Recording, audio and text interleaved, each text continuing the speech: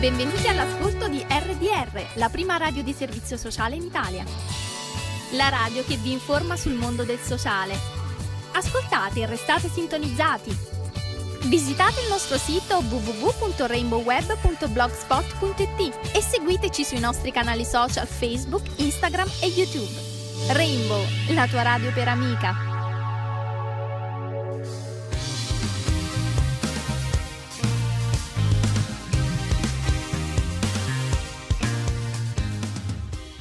La voce di chi non ha voce. Ciao a tutti da Tilde, notizie da RDR, la disabilità a scuola da cittadell'infanzia.it. La disabilità a scuola, il gruppo di classe come risorsa positiva. La dottoressa Roberta Di Lernia racconta. Sono una psicologa che ogni mattina lavora come educatore in scuole primarie e secondarie di primo grado. Mi occupo nello specifico di assistenza specialistica scolastica per bambini con diverse disabilità.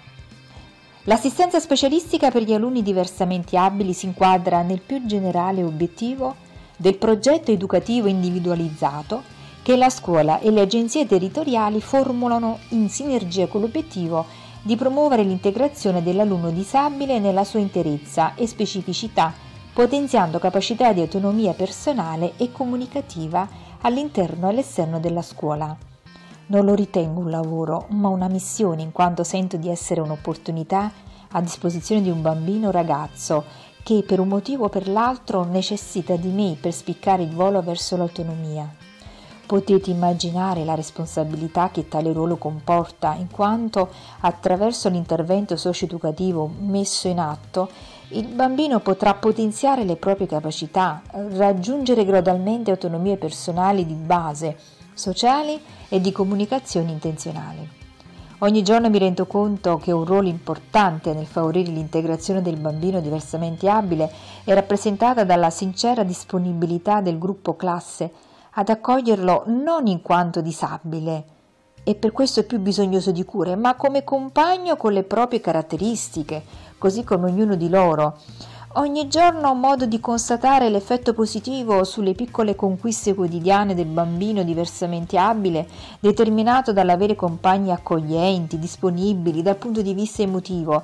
Infatti, l'essere inserito in una classe accogliente ed inclusiva aumenta la voglia di fare, di imitare, di emulare e quindi di imparare.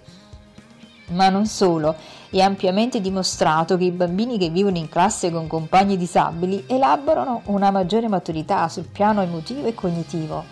Perciò è necessario mettere in atto percorsi che aiutino i bambini ad accettare il diverso senza paura e senza la mistificazione del siamo tutti uguali, perché ognuno è unico e irripetibile. Bene, dottoressa Roberta Di Lerner, la ringraziamo per il suo ruolo di psicologa clinica per i ragazzi diversamente abili e un ringraziamento anche dalla redazione di Rainbow Diversamente Radio.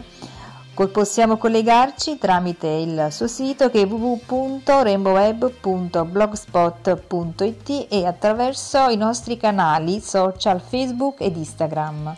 Un saluto da RDR e da Tilde. Ciao a tutti!